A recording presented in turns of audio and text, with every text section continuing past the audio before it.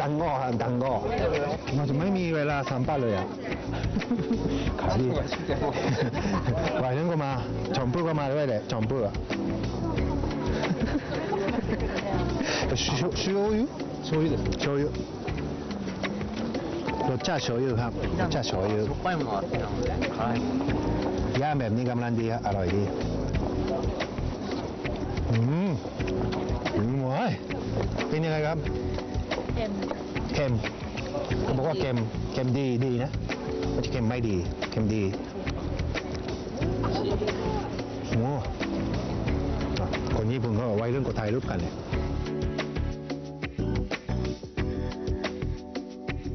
です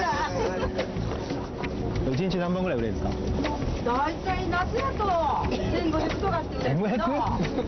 冬は暇です冬暇じゃないじゃないですか。めち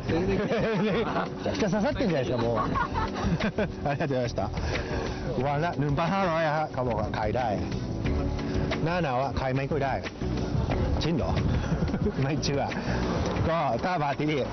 ลองชิมดูดีดีกว่าครับเจ็ดเจ็ดสิบเยนนะฮะ ประมาณ 30 บาท ไม่แพงครับ ไม่แพง ค่ะและ เราก็มาถึงที่นี่ค่ะทาคายามะจินยะ เมื่อสมัยเอโดะสถานที่แห่งนี้นั้น เป็นของเจ้าเมืองคานาโมริแห่งปราสาททาคายามะค่ะ แน่นอนนะคะ เจ้าเมืองก็ต้องอาศัยอยู่ในปราสาทใช่ไหมคะ แต่ว่าบ้านหลังเล็กแห่งนี้ ถือได้ว่าเป็นเรือนเล็ก หรือว่าเป็นบ้านพักเลยก็ว่าได้นะคะ ต่อมาก็เลยถูกใช้เป็นสถานที่ราชการค่ะและสถานที่แบบนี้ถ้าเกิดให้ไปค้นทั่วประเทศญี่ปุ่นก็ไม่เจอหรอกค่ะ ต้องมาที่นี่ที่เดียวเลยนะคะทาคายามะค่ะ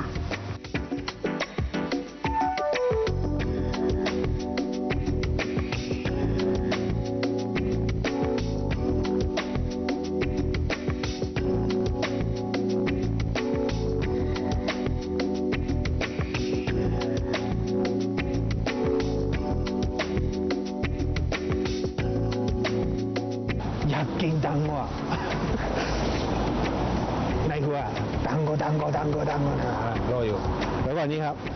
ราเมนครับร้านราเมนทาคายามาราเมนですねทาคายามาก็มีชื่อเสียงนะครับเรื่องราเมนนะครับ ผมก็ชอบ คนนี้ก็ชอบ คนนี้ก็ชอบ คนนี้ก็ชอบ เดี๋ยวเราอาหารเที่ยงนะครับกำลังเข้าไปร้านที่มีชื่อเสียงรายการญี่ปุ่นก็มาถ่ายเยอะร้านราเมงครับทาคายามะ เดี๋ยวเข้าไปครับ รอคิวขนาดนี้เราไม่ต้องรอครับ เพราะว่าโทรไปวางก่อน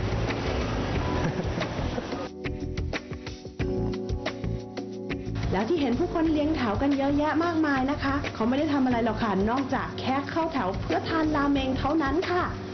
แล้วคุณฮิโรซังของเรานี่แหละคะจะพลาดโอกาสแบบนี้ ก็ขอเข้าไปชิมราเมงที่เรื่องชื่อของทาคายามะกันหน่อยดีกว่าค่ะ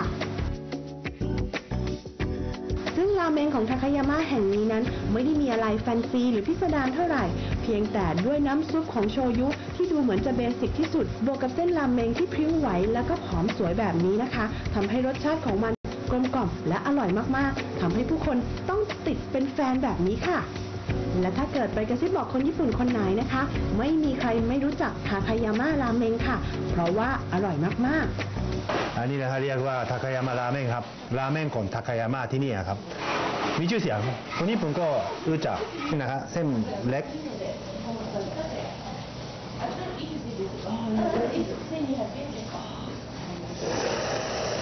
じゃあยังไงกินก่อนนะกินก่อนนะ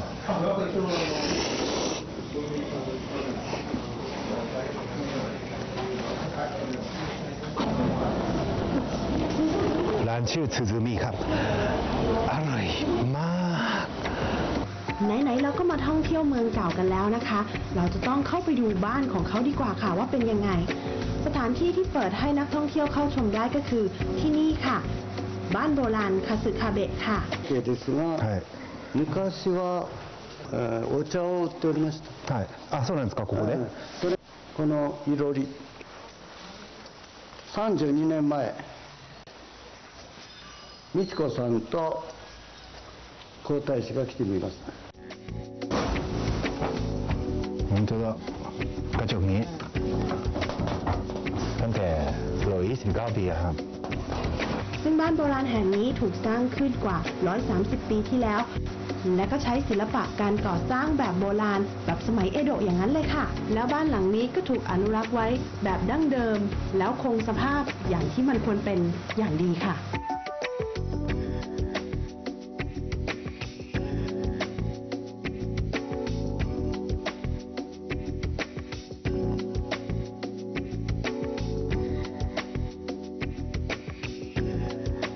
หน้าหนาวใช้แบบนี้ แล้วก็ หน้าร้อนพิบพิบこれ珍しいですね ต่อไปคุณฮิโรซังของเราจะพาเราไปชมศาลเจ้า ซากุระยามะฮาจิมังกุค่ะศาลเจ้าแห่งนี้มีประวัติศาสตร์ยาวนานถึง 377 ปี อืมถ้านับเป็นปีแล้วก็ในสมัยปี 1630 นั่นเองนะคะ ที่ถูกก่อสร้างขึ้น แล้วทุกวันที่ 9 วันที่ 10 ของเดือนตุลาหรือว่าเดือน 10 นั้น ที่ศาลเจ้าแห่งนี้ก็จะมีเทศกาลฤดูใบไม้ร่วงของทาคายาม่าค่ะ ซึ่งมีชื่อภาษาญี่ปุ่นว่าอากิโนะทาคายามาไซค่ะ อ่าและที่เห็นสองสาวนางแบบสวยงามที่ยืนอยู่ตรงนี้นะคะ เขามาร่วมพิธีชิจิโงะซังหรือว่าถ้าเขียนเป็นตัวคันจิแล้วก็จะมีเลข 7 เลข 5 เลข 3 มีพิธีที่มีเอาไว้เพื่ออวยพรให้กับเด็กผู้หญิงและเด็กผู้ชาย ให้โตขึ้นอย่างสุขภาพแข็งแรงค่ะสำหรับเด็กผู้ชายแล้วจะอวยพรเมื่อครบรอบ 3 ปีกับ 5 ปี แต่สำหรับเด็กผู้หญิงแล้วจะครบรอบ 3 ปีกับ 7 ปีค่ะ กิเริ่มสงสัยแล้วนะคะ ว่าตอนฮิโรซังอายุ 5 ขวบนั้นได้ทำพิธีนี้หรือเปล่าเนาะ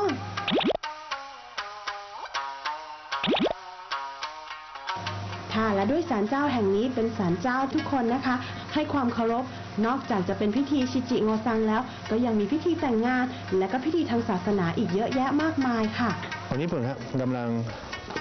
แต่งงานกัน พูดยังไม่ทันขาดคำเลยนะคะ มีพิธีแต่งงานกำลังจัดอยู่ค่ะ คนญี่ปุ่นเนี่ยแต่งงานที่ศาลเจ้าครับบ่อย ไม่ใช่วัดครับ ไม่แต่งงานที่วัด แต่ศาลเจ้าอะครับสวยโชคดีอะโชคดี คุณฮิโรซังของเราตบมืออวยพรให้กับเขา แต่ว่าแล้วเมื่อไหร่คุณฮิโรซังจะมีโอกาสได้จัดพิธีแบบนี้บ้างล่ะคะ คนหนุ่มสาวในยุคนี้ เริ่มเล็งเห็นความสำคัญ แล้วก็ความสวยงามในการจัดพิธีแบบดั้งเดิมแบบนี้ แล้วก็เริ่มที่จะหันมาจัดพิธีแต่งงานแบบคลาสสิกแบบนี้ค่ะ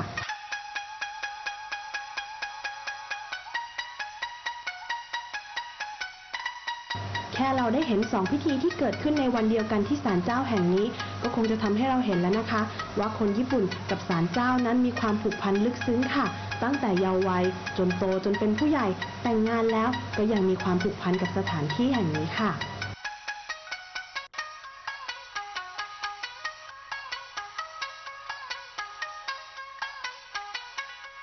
วันเวลาปานเปลี่ยน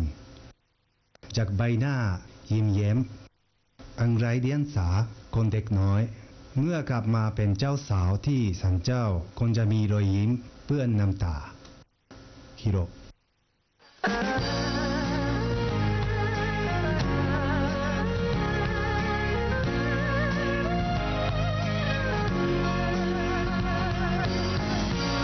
ค่ะและสำหรับสัปดาห์หน้าวาบิซาบิคุณฮิโรซังของเราก็ยังคงอยู่ที่ทาคายาม่านะคะ แน่นอนค่ะ เราจะได้ดูวิวทิวทัศน์ของเมืองเก่าที่สวยงามของทาคายาม่าแต่ว่านอกจากนั้นคุณฮิโรซังของเรา จะพาเราเจาะลึกไปยังนโยบายของเมืองแห่งนี้ ที่เนียวไปเพื่อแก้ปัญหาผู้สูงอายุและก็ปัญหาผู้พิการค่ะ แล้วมาดูกันนะคะว่านโยบายของเขาแตกต่างหรือว่าเหมือนกับบ้านเรายังไง ห้ามพลาดนะคะ